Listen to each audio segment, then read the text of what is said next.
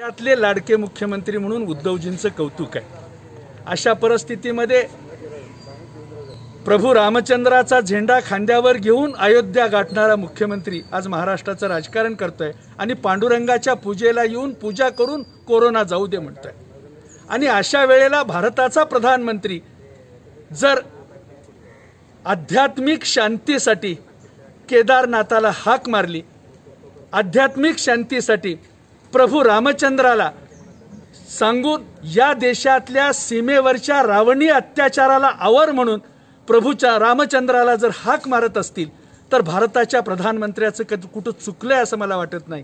अशा परिस्थितीमध्ये धार्मिक श्रद्धेचं अधिष्ठान असल्याशिवाय संकटाच्या काळात आपण पुढं जाऊ शकत नाही.